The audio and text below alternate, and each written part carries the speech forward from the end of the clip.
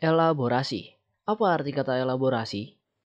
Elaborasi artinya adalah suatu proses atau teknik untuk mengembangkan ide atau informasi dengan lebih mendalam. Kata ini sering kali digunakan ketika ingin membuat suatu penjelasan agar menjadi lebih detail sehingga dapat memperjelas pesan yang ingin disampaikan.